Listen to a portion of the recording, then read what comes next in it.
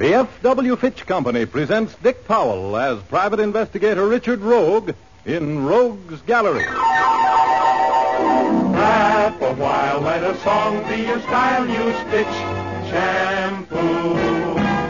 Don't despair, use your head, save your hair. Use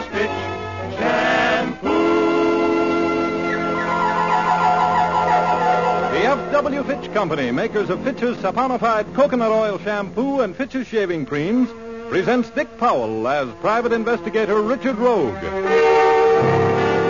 In Rogue's Gallery.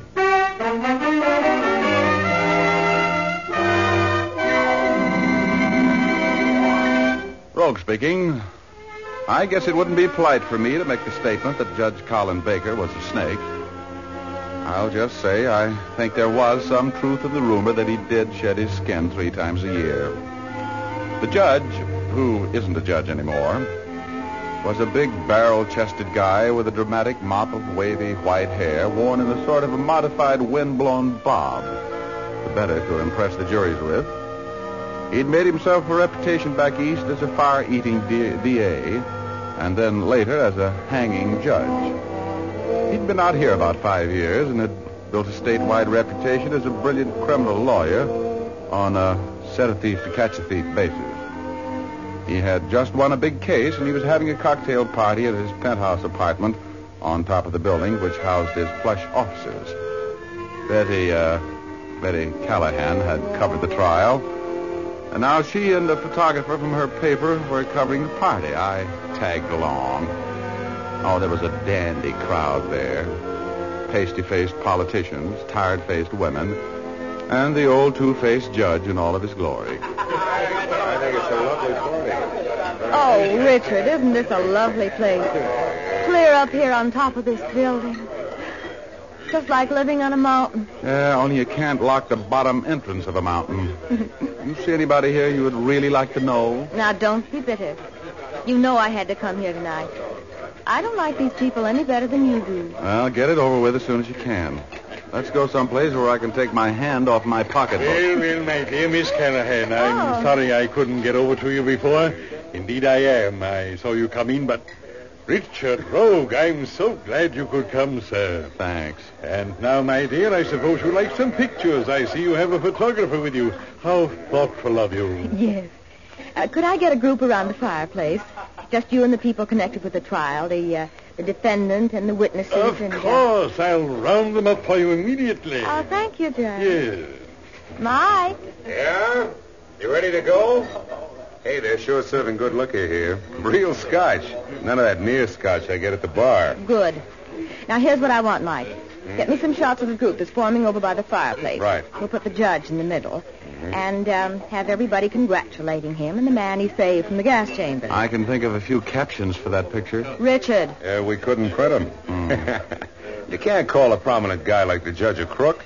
And you can't call a murderer a murderer after a bought jury says he's not. You get the idea, Mike. Come on, Mike. You stay right here, Richard. I'll be back as soon as we've covered the art angle on the story. And then we leave, right? Yeah, just as soon as I can, dear.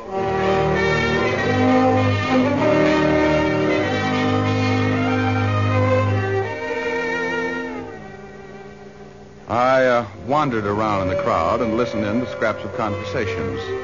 Jim Dorset, an oily politician on the judge's payroll, was talking with uh, with a Mary Miller. Mary is a self-made wealthy widow whom the judge had defended uh, after she'd poisoned her husband. She was glaring hate at the judge like a death ray, and I moved within earshot of them. Well, Mary, you enjoying yourself at this testimonial to our friend's genius? I'd rather be at his wake. I'd enjoy my cocktails more. Uh, you can count me in on that, too. I'm surprised at you, though, Mary. He got you out of a pretty bad spot. Didn't he? Yes, for exactly half the money Fred left me. I didn't kill Fred, you know. I was innocent. Oh, sure, sure. Well, here's to meeting you again soon. At his wake. Happy little gathering. The laughter, which was bouncing off a high ceiling, had all the gay spontaneity of an open grave. But everybody was getting along with the judge. He was a big man. He had lots of money, lots of power. In a way, I couldn't help admiring the old boy.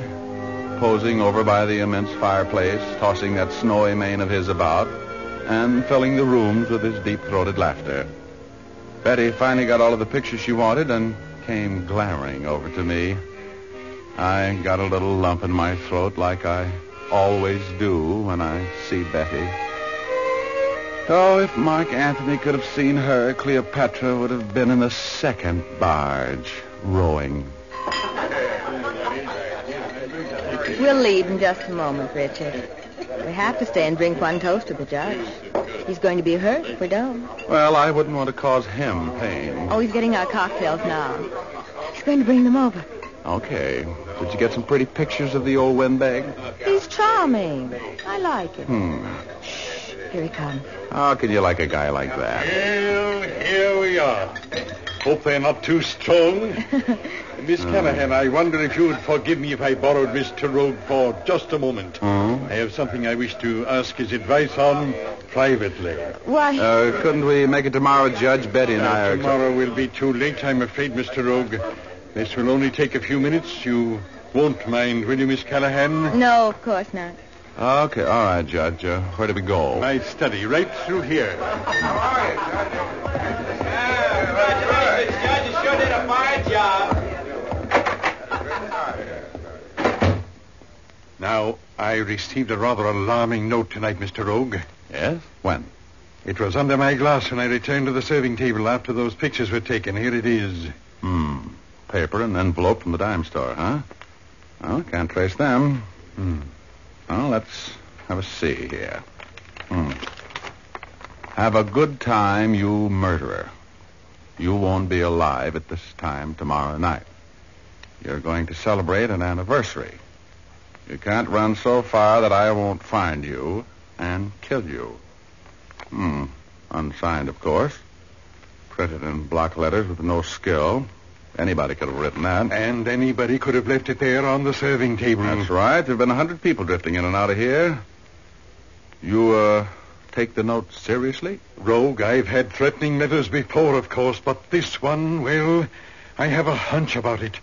A premonition.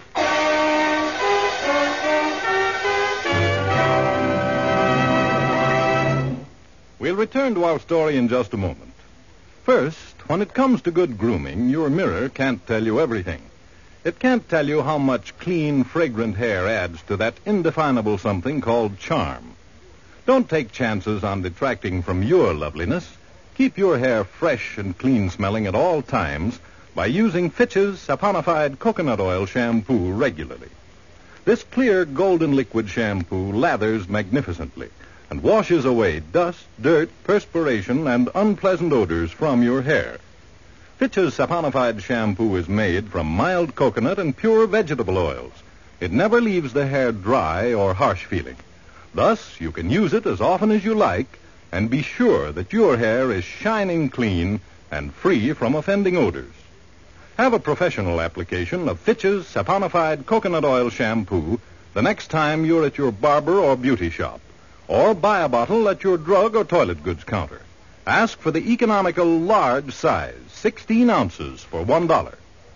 Now back to Dick Powell as private investigator Richard Rogue in Rogue's Gallery.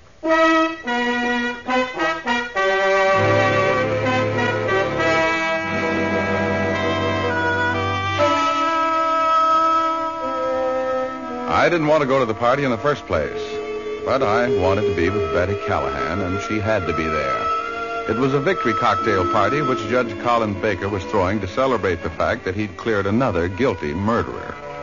I wasn't particularly happy when the judge took me in his study and showed me a note threatening him with death within the next 24 hours. In fact, I didn't pay much attention until I looked at the judge's face. He was scared. Rogue, I've had threatening letters before, but this one, well, I have a hunch about it, a premonition. Well, what are you going to do about it? The safest place in the world for me to stay is right here in this penthouse, and I want you to stay with me, Rogue. Me? I'll pay you well for your time, and uh, What's well? I'll give you five hundred dollars if you'll stay with me for the next twenty-four hours, Mister Rogue. Ah, ah, oh, oh, 500 clams, huh? Well, Judge, that uh, that makes it very interesting. You'll accept the assignment then? Like a flash. Just let me explain it to Betty Callahan. I, I was supposed to take her out tonight. Very well. I'm sure Miss Callahan will understand when you tell her about the fee. I need you, Mr. Rogue.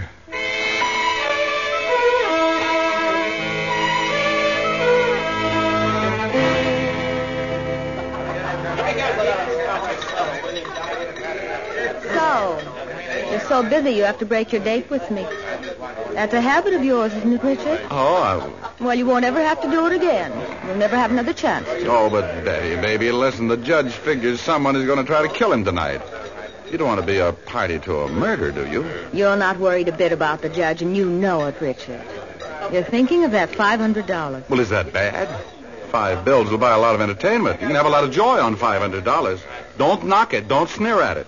Well, I suppose I might just as well get Mike to take me home. I should have known that you'd get a better offer. You always do.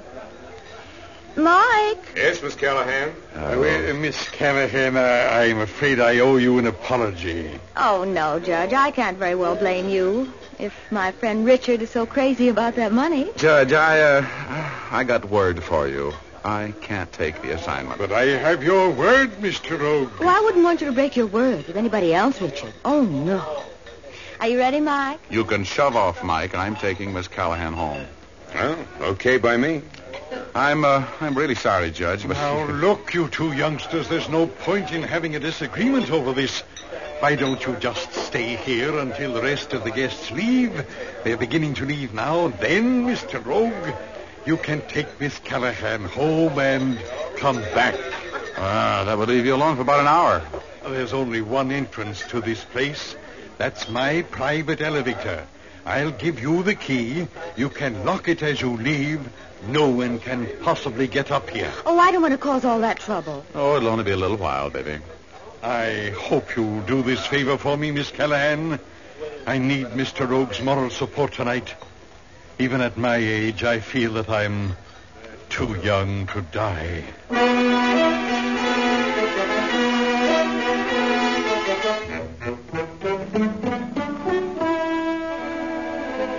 Betty and I hung around for another hour until all the guests either walked or were helped from the cocktail party. Then the judge and I went through the penthouse like acid goes through cotton. We looked under everything that was raised from the floor and behind everything that stood a foot high. Then we turned on the floodlights and searched the area surrounding the penthouse. Then the roof. There was nobody there. The judge was alone when Betty and I rode his private elevator and locked it with a foolproof lock before we got into my car and headed for her place. Betty was annoyed, and uh, that ride home was as romantic as a tub full of wet wash. But uh, she'd been annoyed before, and I wasn't worried. I left her at her apartment and fiddle-footed out to my car. I opened the car door, bent to get in. Oh! Lightning struck behind my ear. I heard the thunderbolts rocketing past and latched onto one. For a wild ride through the firmament. Stars kept exploding in my face, but I, I hung on until I saw my home away from home. Oh, good old Cloud 8. I let go, dropped an eon or two, and landed as softly as a smoke ring. I didn't open my eyes for a moment.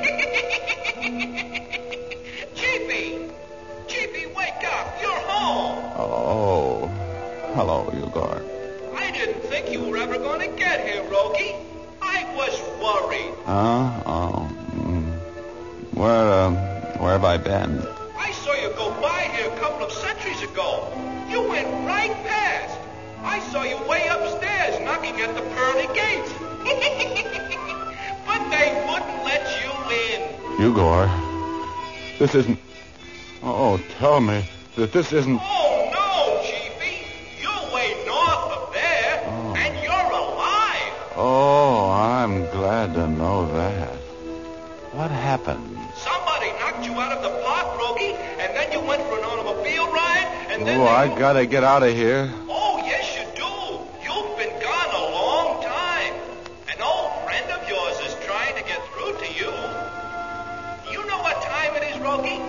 No. It's 9.30 at Emmett. Over you go, Chiefy. All right, Eugor. Give me a shove. So long, Chiefy. See you next week.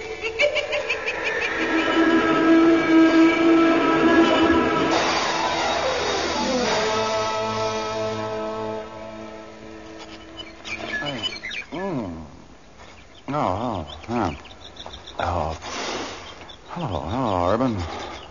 Hey, what are you doing? Oh, I'm trying to get these handcuffs off you. Oh, where are we? We're in the hills above Mulholland Drive. Somebody brought you up here, chloroformed you, and handcuffed you to this tree with your own handcuffs. You need a bodyguard, Rogie. How did uh, you find me? Now, I got a phone call telling me where you were to bring a file. Stand still or I'll leave you here. Oh, okay. Hmm. Who did it? Uh, I'm why? waiting for you to tell me that. I don't get it. Somebody wanted you out of the way for a while, Rogie. Now, do you want to tell me what you're mixed up in? I wasn't on a case, and I. Ooh, careful. Oh! There.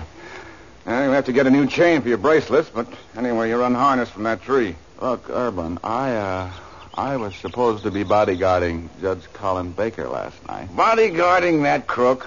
Why? Well, he, uh, he got a death threat and a note found on the serving table during a cocktail party. Go on. Yeah, somebody promised to kill him within 24 hours. What'd you leave him for? I took, uh, took Betty Callahan home. Somebody must have followed me when I left the judge's penthouse. They knocked me out as I left Betty. Oh, maybe we'd better check on the judge's health. Maybe that note wasn't kidding. How do you feel? Uh, woozy. Oh, you can hang your head out the window on the way back. We'd better see whether your client needs a bodyguard or an undertaker. My head was full of feathers and my hands felt heavy on my arms. My mouth was lined with brown blotting paper and my shoes were full of lead. I wasn't feeling very well as as I got in Urban's official sedan and headed for the penthouse where I'd left Judge Colin Baker. My head ached like a broken heart until I took a couple of pills from Urban's first aid kit.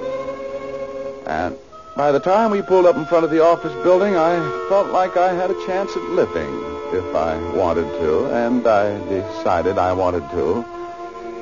The private penthouse elevator was still locked, just as I'd left it, and that made me glad. We entered it.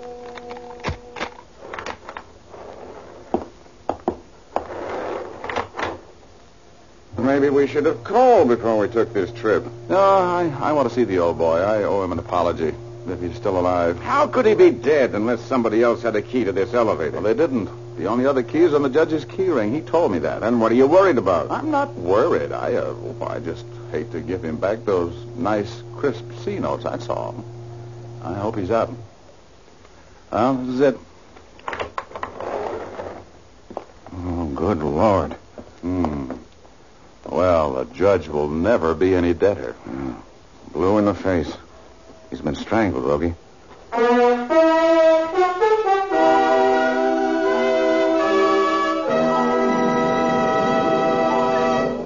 We'll continue our story in just a moment. First, a word to the ladies. It's long been acknowledged that fragrance and charm go hand in hand. But unpleasant hair and scalp odors can banish charm in a hurry. By using Fitch's saponified coconut oil shampoo regularly, you can keep your hair flower fresh and fragrant. That's because Fitch's saponified shampoo makes billows of fragrant lather. Lather that floats away dirt, oily film, and displeasing odors from the hair. Then the lather rinses away easily and completely. You see, Fitch's saponified coconut oil shampoo contains its own special patented rinsing agent.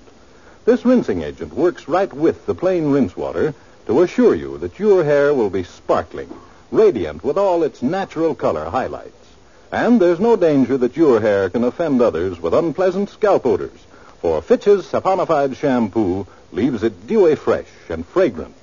Next time, ask for Fitch. F-I-T-C-H. Fitch's saponified coconut oil shampoo.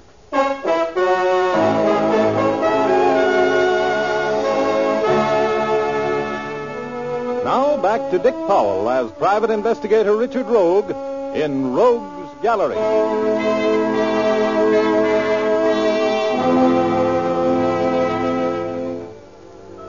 Maybe I was surprised when I saw Judge Colin Baker looking up at me from the floor of his living room. I'm not sure.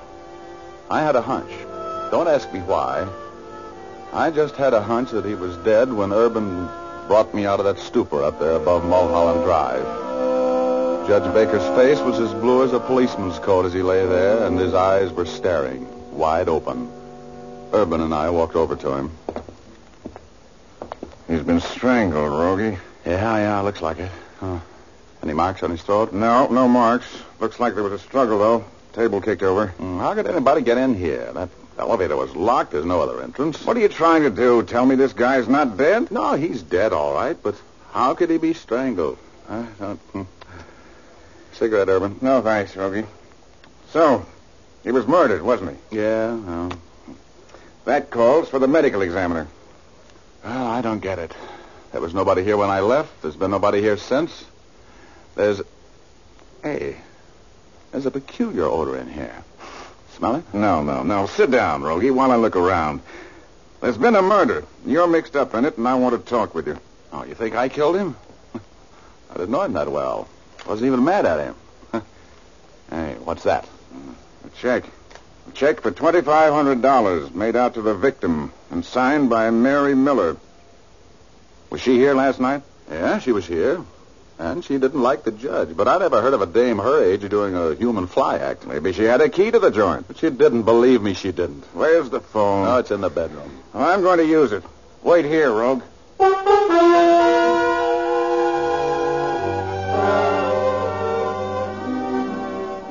Was a peculiar odor in that room, a faintly familiar odor, but I couldn't place it. My poor old beat up mind was whirling a million revolutions a minute and getting no place. And then I, I remembered the note the judge received. It had uh, mentioned an anniversary. So I decided not to wait. Instead, I took that long elevator ride and grabbed a cab for the library. May I help you? Oh, yes, I, uh, I want to see the files on the Gotham City newspapers for the last ten years. All right, sir. It's going to take me some time to get them out of the storeroom. Any specific dates? Yes, I, uh, I would like to see copies of the editions five, six, seven, eight, nine, and ten years ago today. All right, sir. If you'll just have a chair.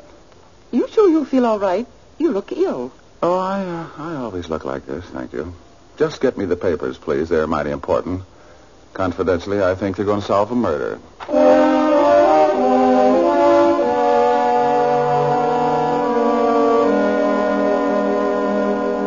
Librarian got me the papers. I went to work on them. Gotham City was the city where Judge Colin Baker had made his reputation as a hanging judge. My hunch was as strong as a bride's coffee, and it paid off. In the issue for seven years ago that day, I found the name of Judge Colin Baker on the front page. A man he had sentenced to the chair for murder had been executed, screaming his innocence. Within an hour after the electricity had torn through the body of this man, Harold Michaels, the real killer had confessed. And this was the anniversary of that legal murder. I called Betty Callahan at her paper. She wasn't there. She was covering the police investigation of Judge Baker's murder. I took a cab back to the judge's penthouse. Oh, isn't this terrible, Richard? If it hadn't been for me insisting on you taking me home, the judge would have been alive. Or I would have been dead. Where have you been, Rogie? I told you to stay here. I've been out doing your work for you, Urban. I got the motive for this murder. You have, Richard? Now, what did the medical examiner have to say, Urban? Oh, you know the doc. He just did a little muttering about cyanide. Won't give any official opinion until he's had a chance to analyze the contents of the body. What's your theory on the motive? Well, I... Hey, Betty, where are you going? I'm with the working press. Mike and I are going to get some pictures. All right. I can hear that massive intellect of yours ticking, Rogie. And I recognize that far away look in your eyes. Now, what goes? Don't stand there like a dummy. If you've got any theories, let me in on them. Uh, cyanide, huh?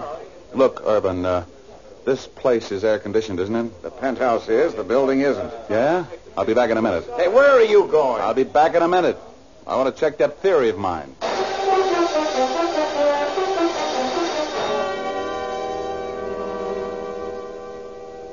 Cyanide. That word brought back that dainty smell I'd noticed in the apartment when Urban and I had discovered the judge's body. Cyanide. The odor of cyanide is brought out by cigarette smoke. I had been smoking when I detected it. Ah, the pieces of this murder were falling in place like a well-trained chorus.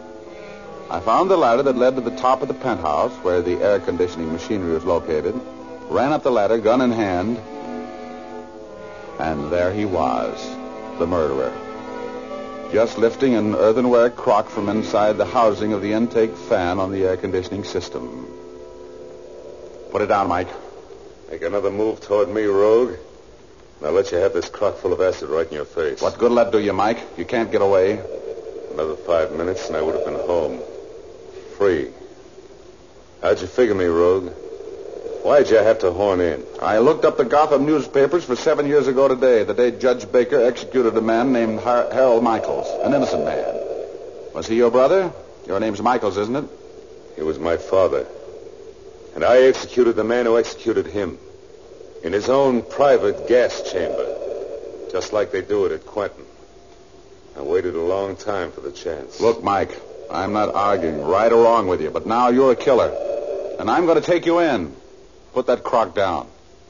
No, I don't think so, Rogue. I'll just stand here. I have to think. Just for my information, Mike, how did you delay the action of the gas until you knew the judge would be alone? I thought of everything. I didn't want to hurt anybody but Baker. I hung the cyanide pellet over the acid on a piece of cotton cord. I tested it half dozen times. You know, it took a drop of acid three hours to eat through the cord. I'm glad I killed him, Rogue. I'm coming after you, Mike. I'm not waiting, Rogue. I don't like the gas chamber. Mike, Mike, don't come back here. I'm not sorry for anything. Tell him that was my payoff line, will you, Rogue? So long. No, don't, Mike. Don't jump. Ah!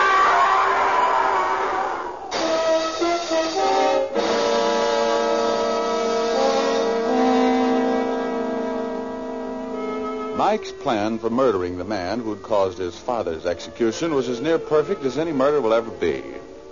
While the guests were having whoopee at the cocktail party, he put that jar of acid in the air conditioning intake, hung the cyanide pellet over it, and was back at the party, leaving that note before anybody missed him. When he found that I was going to return to spend the night with the judge, he uh, had to knock me out, get me out of the way for at least five hours. Three hours before the cyanide fell into its acid bath, and two more hours which it took for the air conditioning system to completely change the air in the penthouse. oh, it's clever, I thought. It, uh, yes, it uh, looks like I did it again. Had a narrow escape, though, but uh, that didn't bother me. I drive every day in the Los Angeles traffic. You know what I mean?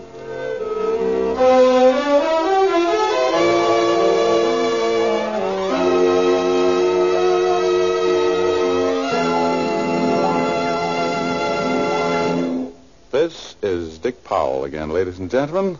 Hope you enjoyed our story tonight. Ray Buffum wrote it. Leith Stevens composed and conducted the music, and Dee Engelbach produced and directed. Be with us again next week, will you? We have a story for you about a black-eyed senorita from Argentina, a Latin-type corpse, and a mysterious gold piece. We call it Latin song be your style. Use Fitch shampoo. Don't despair, use your head, save your hair. Use Fitch shampoo.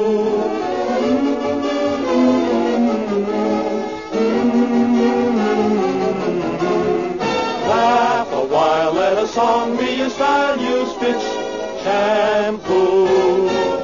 Laugh a while, let a song be your style. Use shampoo.